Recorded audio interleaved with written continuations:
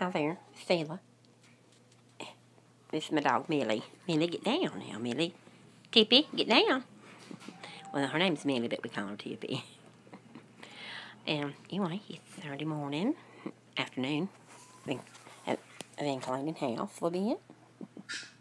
And, um, eating some lunch. And, um, just want to know if I need to uh,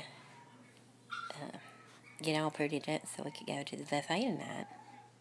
Or down there to Bingo. Bingo, be fun. Get lucky.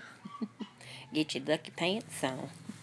Anyway, um, I was thinking that um, we kind of missed the yard sales this morning.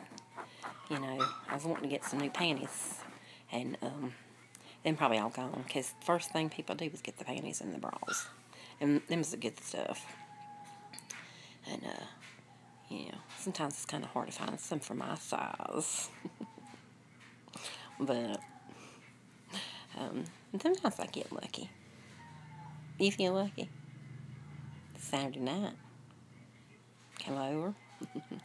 Go down there to the lodge and do some line dancing.